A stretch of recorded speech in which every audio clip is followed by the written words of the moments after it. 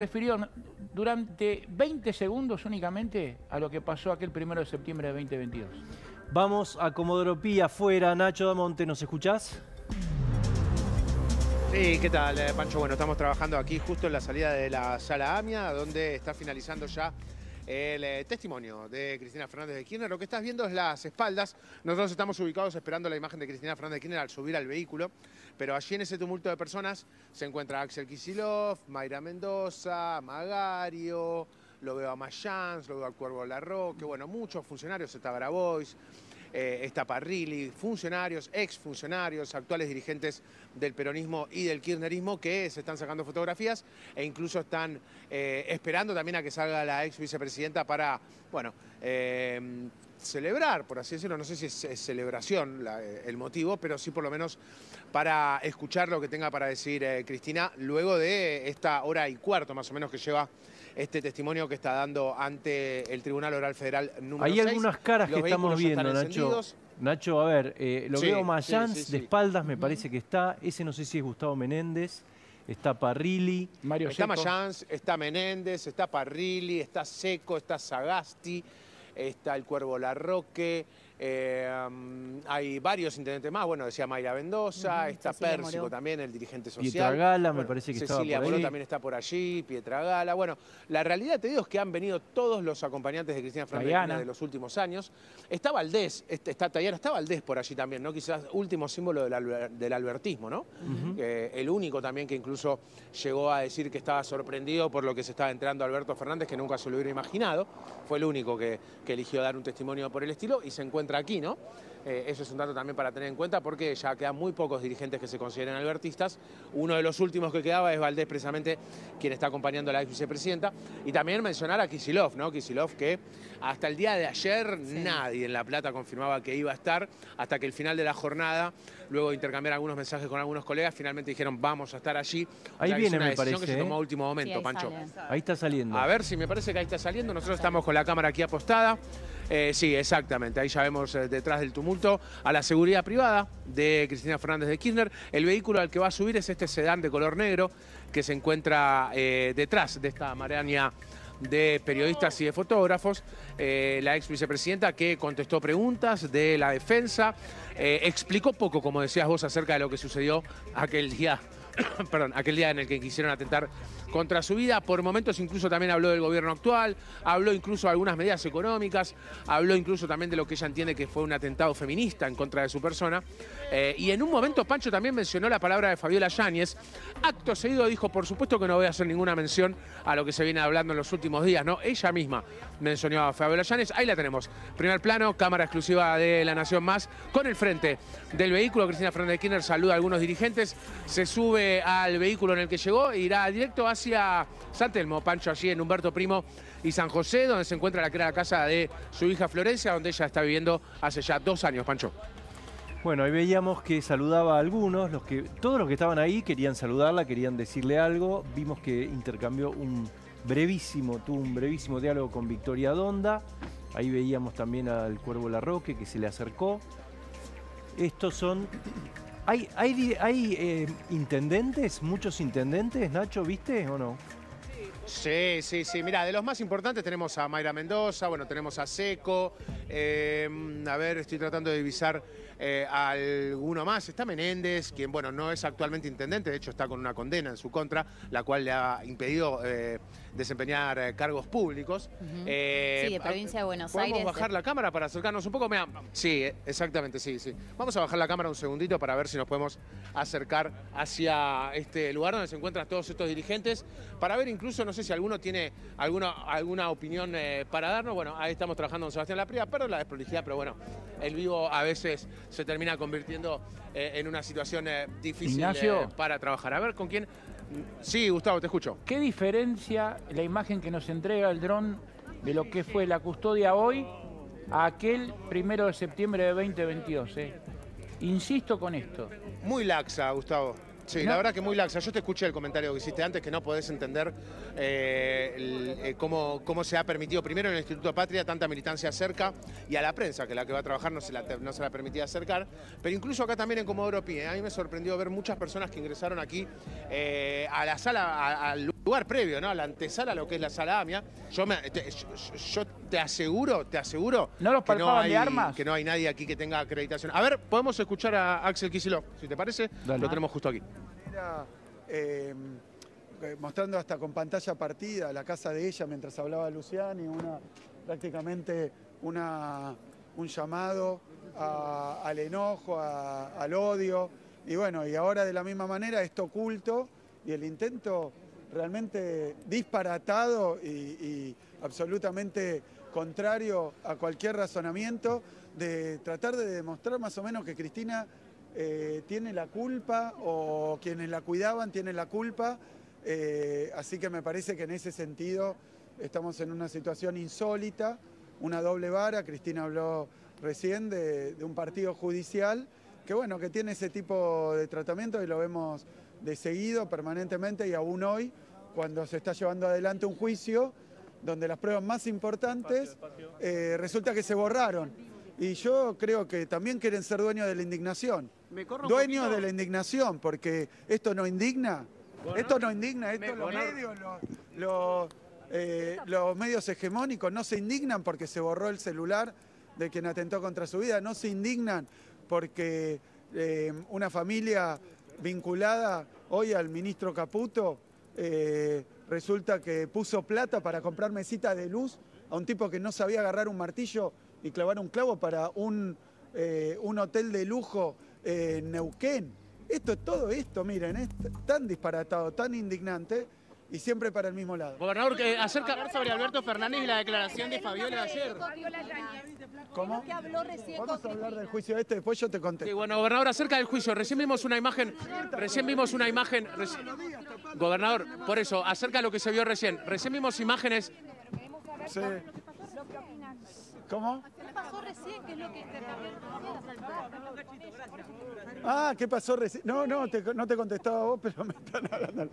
Bueno, perdón, entonces, si me dejas contestar una después me dejas contestar una, sí. Eh, no, eh, sí, sí, por supuesto, por supuesto, porque Cristina ha sido víctima de un intento de asesinato y hoy es víctima de un juicio que no va para ningún lado. Ustedes imagínense, lo dijo ella también recién, de vital importancia. Si esto hubiera sido sobre, por ejemplo, ella dijo Mauricio Macri, un dirigente de la derecha argentina, esto sería bueno, ¿qué pasó? Los irían a buscar, los esperarían en la casa, estaría haciendo una investigación en paralelo en los medios hegemónicos y resulta que nada de eso ocurre. Nada de eso ocurre, todo lo contrario, prácticamente tiene que ella defenderse y los quienes, por ejemplo, apresaron a Sabac Montiel, que si no se escapaba muy tranquilito, eh, quienes tra- atraparon el arma, bueno, esos serían responsables de no haberla cuidado suficiente. gobernador, recién Me- le voy a decir algo. Miren, si ahora alguien sale con un arma y me, y me gatilla a mí, ahora en este momento, ¿qué? Vamos a buscar a ver si yo tengo la culpa. Si yo tengo la culpa, porque ¿dónde estaban los custodios? ¿Dónde está? No es así. Y me parece que este tratamiento, este tratamiento, hay medios hegemónicos que solo cubren el juicio cuando parece que la responsable es Cristina o quienes la cuidan. Gobernador, recién veíamos imágenes, eh, fotos que se estaba sacando incluso usted con dirigentes, intendentes. Entendemos que la situación quizás no es la mejor, pero se puede hablar de una reunidad del kirchnerismo luego de la declaración de hoy. Se lo vio sacándose fotos con eh, incluso a otros dirigentes que hace tiempo que no se los veían juntos. No, sí, eh, yo estoy permanentemente en contacto. También eso, me parece que, que es una lectura que es una lectura donde, de nuevo, hoy lo que deberíamos eh, preguntarnos es hubo un intento de magnicidio, hubo un intento de magnicidio, no solo quién gatilló el arma, porque fue descubierto justamente por quienes estaban cuidando a la Cristina, sino también eh, cuál es todo el dispositivo y todo el procedimiento que implica dirigentes políticos de, de nuestra oposición, que implica y que podrían defenderse si se lo juzgara, podrían venir a decir no, no fue así, Gobernador, no dije, gobernador. le borraron el teléfono a las secretarias, le, le borraron el teléfono a las eh, secretarias de Milman, ¿en dónde? En, eh, en un estudio que aparentemente pertenece a, a Patricia Bullrich. ¿Quién? Aparentemente un, un experto en informática que hoy es funcionario del gobierno de Milei. Entonces todo esto no le importa a nadie. Gobernador, ¿le sigue Todo considerando, gobernador? es que no se investiga. Gobernador, es que ¿le no sigue se considerando investiga. peligrosos los discursos de odio que se despliega desde la Casa Rosada? A mí me parece que, que esta, esta situación permanente, agredir de, con palabras, sí, sí, claro, claro, peligroso, sí, ¿Qué peligroso. sí, ¿Por qué peligroso, atentaron contra peligroso. ella? Bueno, dos veces, dos veces presidenta, vicepresidenta, la dirigente política del campo popular, hoy eh, claramente con un papel protagónico eh, durante el último tiempo y después cuando fue presidenta. Yo creo que es importante porque cuando se tocan determinados intereses, evidentemente hay reacciones y obviamente le toca a uno tener que decir estas cosas porque no se está investigando. Entonces, eh, se debería investigar. Yo creo que el resultado de hoy debería ser que la justicia trabaje eh, de manera correcta, de manera rápida, que, y que terminen todos los responsables, todos los responsables en el banquillo. ¿Viste considerando que dice que es la dirigente política más importante? ¿Se va a presentar a elecciones, Cristina, gobernador? Gobernador, ¿se va a presentar a elecciones, Cristina? Bueno, nos están empujando, ok. Eh, estamos dando el espacio para que pueda avanzar el gobernador junto con su personal de seguridad. Se van a subir al eh, vehículo donde eh, van a trasladar hacia La Plata al gobernador de la provincia de Buenos Aires. Muy amablemente eh, se aguantó los empujones, la presión y respondió a las preguntas. El único dirigente mm, de mayor importancia, ¿no? Podríamos decir, quizás el más importante que acompañó el día de hoy a Cristina Fernández de Kirchner, gobernador de la provincia de Buenos Aires, Axel Kicillof, en estos momentos deja la sala AMIA, por supuesto, la antesala, y se dirige ya hacia la ciudad de las Diagonales. Ya está. Pancho, quizás vaya al Instituto Patria, ¿eh? eso no lo tenemos confirmado. ¿eh? Ah, eso te iba a Porque en el preguntar. Instituto Patria también está preparado un escenario con pantalla, la posibilidad de un discurso de la propia Cristina. Allí tenemos eh, compañeros trabajando, así que tendremos esa información en breve. Seguramente entonces en un rato vamos a saber. Eh, ¿Se fueron de ahí o ya está despejado o sigue, sigue habiendo ver, dirigentes? y bueno, vamos a ver, a ver a quién podemos. Eh, bueno, tenemos aquí a, integrantes de Abuelas y Madres de Plaza de Mayo. Eh, creo que queda mucha prensa aquí. Vamos a asomarnos allí. Mira, allá en el fondo se ve la, militancia. Eh, para que se ubiquen a unos 50 metros se encuentra Tomás Díaz Cueto con nuestro camión satelital, quien estaba acercando todo lo que sucedía afuera de este espacio de Comodoro Pi. Mira, acá lo tenemos a Mayán, se encuentra aquí Fernández Agasti, por supuesto la senadora también aquí presente, algunos dirigentes que ya van dejando el, eh, bueno, Cuervo La Roca, aquí lo tenemos aquí muy cerca, todos saliendo luego de que Cristina Fernández Kirchner terminó su declaración, respondió preguntas y finalmente ahora todos se acercan a la militancia. Mira, acá lo estás viendo, Cuervo Larroque, eh, de frente ya los militantes, La Patria es el otro, Peronismo Militante y otras agrupaciones que acompañaron aquí a Cristina Fernández de Kirchner. Bueno, nos avisás entonces si, si se puede hablar con alguno. Jean Libares está en el Instituto Patria, donde también hay preparada una concentración. Jean, te escuchamos, ¿cómo va? ¿Cómo Pancho? Buen día, buen día para todos. Sí, sí, está totalmente congestionada la zona de Mitre y Rodríguez Peña, con una cantidad importante de militantes. Yo te diría que hay cerca de 2.000 personas. No podemos ni siquiera llegar a la puerta del Instituto Patria porque no te lo permiten los militantes. Entonces estamos trabajando desde aquí, desde la esquina. Han formado un cordón, como ustedes ven, porque entienden que por acá va a pasar la comitiva que trae a la expresidenta. Este es el marco, con bombos, con redoblantes, con banderas, con pancartas, con un tránsito prácticamente, te diría, reducido, no cortado. Hay diferentes gremios, organizaciones sociales, políticas, hay referentes de algunos sindicatos. Como ves, han formado un cordón humano aquí en la esquina, esperando por lo que va a ser en cualquier momento, como marcaban ustedes, cuando salga Cristina de Comodoro Pi en dirección aquí al Instituto Patria en el centro porteño. ¿Qué hay previsto, Jean? Eh, va, va a saludar seguramente, pero rápidamente como, como hizo recién al salir. ¿Y hay algo que esté establecido? No, no, para nada, Pancho. Simplemente es el apoyo. Mostrar el apoyo, mostrar que, que la acompañan en, un- día tan especial como fue esta declaración. Vislumbro yo que quizás utilice uno de los balcones del frente del Instituto Patria, quizás para saludar a la militancia, valga la redundancia, para que no pase lo que pasó en Juncal Uruguay, ¿sí? Porque, que es básicamente por lo que está motorizada esta marcha, por ese intento de magnicidio. Entonces, con lo cual, eh, vislumbro mucha seguridad, hay policía federal, hay policía de la ciudad, hay gente de tránsito en el perímetro, repito, de la calle Rodríguez Peña al 100. y los que estaban recién para saludarla, los, los- los mi- no, no solo los militantes, sino los dirigentes. eh, También van para allá. Van para allá, todavía no veo que haya llegado ninguno, ¿no? Ya no sé si ya hay alguna cara que se pueda detectar. No, no, por ahora no. Veo algunos chalecos del sindicato de los bancarios con el nombre de Palazzo, mucha bandera de la cámpora, ¿sí? mucha, mucha pechera de la cámpora también. Así que eh, por ahora aguardando lo que va a ser seguramente, como decimos, ¿no? la llegada. Aquí llega una moto de la Policía Federal. ¿sí?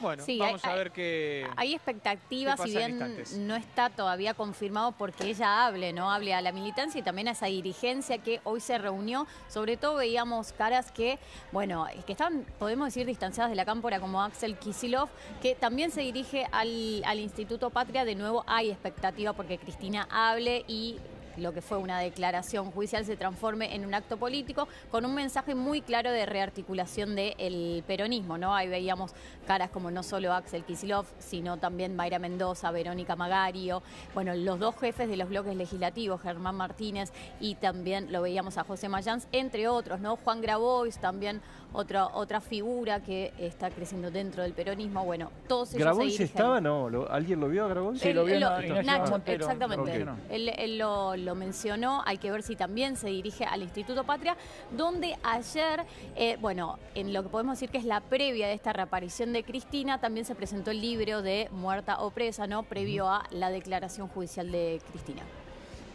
¿Qué, qué se puede decir? ¿Qué está pasando, Nacho, ahora? ¿Se están trasladando al Instituto Patria? Eh, en este momento se encuentran ya eh, dejando el, eh, lugar algunos de los dirigentes que mencionábamos recién, ¿no? Aquí ha quedado un poco de la militancia. Me estoy asomando a ver si lo veo al Cuervo Larroque. El Cuervo Larroque está dando unas declaraciones con algunos medios. La idea es que, bueno, vayan liberando de a poco porque sigue el trámite, ¿no? Aquí en Comodoro Pi. De hecho, dentro todavía quedan los tres acusados del intento de magnicidio, ¿no? El intento de asesinato de Cristina Fernández de Kirchner, estas tres personas que incluso no han compartido la sala con la vicepresidenta. Vamos a pasar de este lado, así la policía puede cerrar la reja. Nos vamos a quedar de este lado, así podemos ir trabajando con algún testimonio. Este grupo de, de, de militantes seguramente se dirijan luego hacia el Instituto Patria, ¿sí? La idea es, como decían recién ahí en el estudio, convertir una declaración judicial en una declaración política, como nos ha tenido acostumbrado en varias situaciones el peronismo. Bueno, en esta oportunidad no va a ser distinto y ahora todos hacen silencio por declaraciones que está dando el Cuervo Larroque ya aquí, eh, con algunos me- eh, medios partidarios en este caso, ¿no? Algunos medios que acompañan eh, al peronismo en este tipo de circunstancias. Ahí estamos viendo abajo, a la izquierda de la pantalla, el recorrido eh, que está haciendo la expresidenta. Se está dirigiendo al Instituto Patria, está pasando por Plaza de Mayo, esa es la catedral. Jan, eh, mucha gente ahí, ¿qué, qué estás viendo? Sí, exactamente, Pancho, como te va a mostrar Mariano, ya está repleto de militancia. Aquí vamos a tratar de hacer una toma desde arriba para que se perciba. Yo repito, hay ya hay miles de personas aquí, ¿eh? En, en esta zona de, de aquí el Instituto Patria, desde muy temprano. ¿sí? Ahí tratan de abrir el tránsito para, para los particulares, ¿no? Que están aquí eh, circulando por la zona. Repito, Rodríguez Peña y Mitre. Ya hay un corte igual, ¿sí? Hay un corte parcial en las adyacencias de aquí del Instituto Patria y con cánticos, con banderas, con todo el colorido, esperando por Cristina Kirchner. Escenario no hay, ¿no, Jan? No, Pancho, no, no, no. Por eso te decía que quizás se utilice alguno de los balcones del edificio del Instituto Patria para saludar a la militancia, pero veo, veo las mismas caras de siempre en cuanto a lo que es el operativo de seguridad No, de su custodia y los referentes eh, militantes que eh, siempre custodian cuando ella llegaba a su domicilio. Va a ser importante, Delfina, en este Sí. caso, eh, ir relevando de a poco las caras, porque no, no olvidemos que el, que el peronismo tiene una interna fuerte, casi podríamos decir que está partido en cuatro, para eh, una, una elección para la que no falta tanto, que es la del año próximo, legislativas. Es probable, no digo que sea así, pero hay posibilidades de que vaya dividido. Exactamente, y además eh, Pancho sacudido, digamos, ya venía completamente dividido y sacudido por el escándalo de Alberto Fernández, ¿no? Por eso me parece que es muy probable que Cristina Kirchner hable, había expectativa ya eh, eh, horas antes dentro de lo que es el entorno, por eso también, digo, tanta dirigencia política que está llegando al Instituto Patria, me parece que va a ser un mensaje, va a reforzar el mensaje que dio en la declaración judicial, bastante político, y por el otro lado, me parece también que va a hacer alusión a el escándalo de, de, Alberto Fernández, sobre todo de nuevo para rearticular este peronismo tan dividido que hoy logró unirse en, bueno, podemos decir, en respaldo de la ex vicepresidenta. Está con nosotros Cristian Poletti, él es abogado penalista. Gracias, Cristian. Gracias por, la invitación, Pancho. ¿Cómo estás? Eh, hasta ahora, lo que se sabe, la investigación que se está llevando adelante, ¿Hay algo que te llame la atención, que, que te parece que hay que poner el acento, mirar un poco más atentamente? Hablamos del atentado de, Cristina y por supuesto estamos hablando todos de la necesidad de acceder a la información que hay en los teléfonos, ¿no? Es, fue clave, tan clave fue la cuestión de los teléfonos de los imputados mismos que incluso hubo una causa que se despegó investigando una, eh, ¿cómo decirlo?, una suerte de pérdida de la cadena de custodia de uno de esos teléfonos, ¿no? Eh, ahora mismo, cosa bastante atípica, en el propio juicio oral, durante la realización de ese proceso, de esa última parte del proceso penal, que, es que son las audiencias de debate, lo que se denomina comúnmente juicio oral, están esperando eh, el análisis de otro de los teléfonos que en principio escondería o guardaría alguna información de vital importancia para este propio juicio oral. ¿no? Eso es lo que se está pidiendo. Se convoca a una empresa israelí, eh, se convoca a la gendarmería, parece que la gendarmería tiene los mismos medios que tiene esa empresa israelí, mm. eh, no se sabe. Eh, lo óptimo sería que este juicio oral cuente con toda esa información, ¿no? Parece que hay un déficit en cuanto a eso. No sé si tendrá o no algo importante, pero por lo menos estaría bueno que las partes contaran con esa información para debatirla. Lo de la custodia, ¿por qué es importante? Lo de la cadena de custodia me refiero. ¿eh? Ah, la, cadena, la, cadena de custodia del teléfono. hubo un teléfono que. El de Sabac Montiel. Claro, sufrió un episodio. Eh, en principio la investigación llegó A, concluir que la cadena de custodia se alteró, entonces no sería una prueba de toda la confianza que se necesita. Para que una información en un proceso penal se denomine prueba como tan ligeramente lo llevamos, tiene que tener una serie de pasos previos que hacen a la confianza de esa información. Esa es la información que entra al proceso penal. Tiene que ser confiable. ¿Cuándo la información es confiable? Y cuando se controvierte. Cuando uno que está interesado en que sea mentira y otro que está interesado en que sea verdad, se empiezan a pelear. Eso se llama bilateralidad. Esa pelea hace que la información sea de buena calidad. Eso es lo que no estamos viendo ahora. Esa cadena de custodia estaba a cargo de la Policía Federal. Convengamos esto. Los teléfonos cuando se secuestran se ponen en un sobre que tiene una cobertura interior de aluminio. ¿Para qué? Para evitar cualquier tipo de interferencia o intento de... Eh, Obtener información. Exactamente. Entonces, sorprendentemente, algo que no pasa nunca pasó en esta causa. La información contenida en el teléfono de Samuel Montiel se borró el único, no en otros. Claro, eso es lo que denuncia Cristina y lo que denunció hoy, ¿no? que no se puso el foco en esta trama de, digamos, que se lo encubrió o es lo que cuestiona a Fue el principio de la causa. Ni bien secuestraron el, el celular en un traslado desde la Policía Federal al juzgado, ahí se borró la información. Quedó así asentado en el teléfono. Cristian, que no haya estado el jefe de la custodia de Cristina ese día, ¿te dice algo? Bueno, se los exoneró de responsabilidad, se los investigó y se los exoneró. Para mí, que una custodia en esta circunstancia eh, haya pasado lo que pasó con la, con la eh, en su momento presidenta de la, de la Nación, siempre es responsabilidad de la custodia. No hay manera de que no sea responsabilidad de la custodia si tanto sea por acción como por omisión. A ellos eh, administrativamente se los exoneró. Pero yo digo, si ellos no podían cuidarla como debieron haberlo hecho, debieron haberlo denunciado, porque acá es indudablemente que era la propia presidenta que no se dejaba cuidar. La persona que accede al público, así como accedía a ella, no se está dejando cuidar. Eso es un error muy propio de nuestros políticos. Y que esté a, ver, a disposición de gente que es inexperta en cuanto a la prestación de un servicio de seguridad. militantes, que la pueden querer mucho, pueden inmolarse con ella, pero no tienen los conocimientos que tiene la gente de la, de la custodia. Bueno, de hecho, lo agarra, el, que agarra el arma son, son militantes. Claro, claro, Lo agarran una turba, lo agarran a piñas ahí, se llevan el arma y se llevan al preso. por supuesto. Y después ella ni se enteró. bueno, ella lo, contaba recién, ¿no? Decía que en el ascensor tuvo una conversación con uno de, sus colaboradores. En el ascensor recién, cuando está subiendo a su casa, le cuentan que había habido un episodio. No le querían contar qué había pasado. Y después cuando vio los videos se enteró de todo. Ahora, vos estás viendo acá negligencia o podría haber una intencionalidad de algún lado que de cualquiera fuera. ¿no? la sé, pero eso tiene mucho que ver incluso con la investigación de la muerte del fiscal Nisman. Eh, cuando uno está investigando esos asuntos, todas las alertas son, por pequeñitas que sean, son importantes. Todas. Porque Alberto Nisman tenía cinco, cinco eh, alertas rojas en el, en el Interpol. ¿Y cómo lo voy a investigar como investigo la muerte del doctor Poletti? No puedo investigarlo igual. Yo tengo que investigar un magnicidio, una tentativa de magnicidio, de la manera que se investiga una tentativa de magnicidio. Todo es sospechoso. Todos los elementos son relevantes. Pero por supuesto, el, tema, no sé, Milman, por ejemplo, para usar un tema que, que, ella, volvió a traer hoy. Eh, acá me ¿Cómo no lo voy a investigar?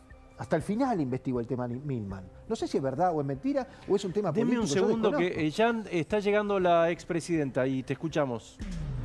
Exactamente, mediante un gran operativo de seguridad ¿sí? Llega Cristina Fernández de Kirchner, cuatro autos aquí a la puerta del Instituto Patria, Mitre y Rodríguez Peña, en medio de cánticos.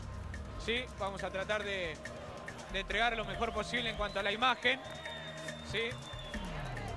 Es un poco desprolijo, pero bueno, vamos a tratar de, de poder mostrar. Hay muchos cánticos, hay muchos militantes que ya comienzan con una efervescencia importante para tratar de llegar lo más rápido a Cristina. Pero bueno, Pancho, esto es lo que podemos mostrar en vivo desde el Instituto Patria. Bueno, ahí lo estábamos escuchando. Sí, Gustavo, ibas a hacer una aclaración. Sí, con respecto a la cadena de custodia de celular sobre la que tanto insistió Cristina Kirchner, los celulares, cuando son secuestrados, se colocan en lo que se llama una bolsa de Faraday. La bolsa de Faraday es ese sobre que tiene una cobertura de aluminio.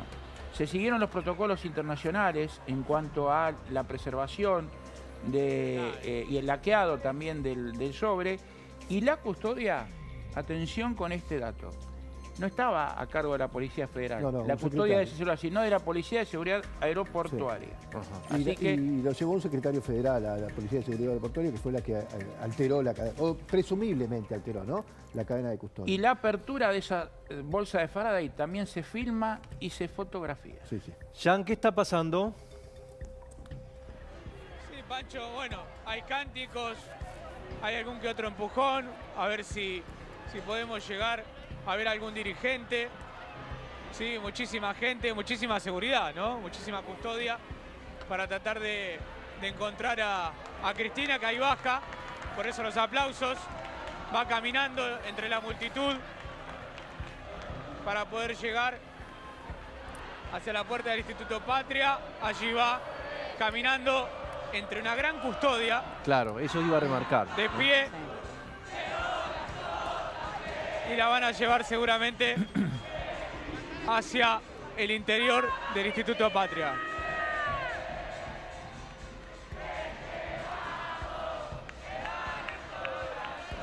Remarcamos lo de fuertemente custodiada, ¿no? Algo que eh, la expresidenta remarcaba recién, que durante algún tiempo eh, le, quedó miedo desde ya, ¿no? Entonces, eh, bueno, ahora se están tomando recaudos que evidentemente ese día no se tomaron. Sí, tal cual, Pancho, tal cual, tal cual. Coincido, coincido con todos ustedes. Bueno, muchísima gente. Estoy tratando de ver como ustedes, porque estamos muy lejos. Pero bueno, eh, dada no, bueno, bueno, tranquilo ahora, seguramente, seguramente va a haber alguna declaración, algo pues si no iría a la casa, ¿no? Exactamente, y además todos los dirigentes también están yendo para allá. Esto ya se hablaba, lo decíamos en horas de, digamos, ayer ya se hablaba de que era muy probable que ella dé un mensaje, un mensaje político, ya lo vimos en su declaración, fue, eh, eh, digamos, más por ese lado, muy probablemente lo va a hacer ahora en el Instituto Patria, donde además hay otra dirigencia que no fue hasta PI, pero sí eh, se quedó a la espera de la ex vicepresidenta. Así que me parece que en minutos nada más vamos a tener alguna definición de esto. Cristian, vos decías recién, todos los elementos en un episodio así, tan relevante, son gravitantes. Sí, sí, por supuesto. Y, es obligación del investigador desconfiar, sospechar, poner todo, todo, todo arriba de su mesa de investigación y cuestionar cada uno de los episodios, cada uno. Yo, no, sinceramente, a mí no se me ocurre pensar que un político, no sé si Milman o cualquier otro, vaya en un bar a decir cuando yo estoy viajando afuera la van a estar matando, lo que escuchó. Tal vez sí, tal vez no. Hay una investigación sobre eso. Hay unos teléfonos que, cuyo contenido han sido borrados. Mm. Si son de importancia o no, no lo sabemos. El problema es que no lo podemos saber. Mm. Ahora El problema es que hasta el final de todo eso, recién al final de toda esa ecuación, el investigador tiene que parar, pero tiene que recorrerla entera. Claro pero, con la evidencia que tenemos hasta el momento, ¿no? Digamos, coincide con Cristina de que debería apuntarse o investigar a lo que son los autores intelectuales, es decir, por fuera de Brenda, de Nicolás Carrizo y de Sabac Montiel. Yo no tengo, acá hay alguien detrás. yo no tengo una respuesta certera porque debería conocer el expediente para eso, pero desde afuera, que es muy fácil opinar, desde afuera yo puedo decir que cómo no voy a investigar. Claro que tengo que investigar. Hablamos... Ya se investigó todo. Pero, claro. el tema acá también acompañando la, respuesta y, contestando lo que plantea Delfina, ya se investigó todo. O sea, dos años de instrucción. Por eso. Eh, se agotaron todas las cuestiones vinculadas a seguir esa pista que vos mencionabas y sobre la cual sigue insistiendo la vicepresidenta, la ex vicepresidenta y también su entorno. Todo se agotó. O sea, eh, acá no se puede avanzar más porque todas esas cuestiones se terminaron. Bueno, ahora es una pregunta que queda pendiente para Cristian. ¿Se puede avanzar más? ¿Puede haber más novedades de esto? Estamos ahí en, el lugar, eh, en tanto en el Instituto Patria, en Comodoro Pi, acaba de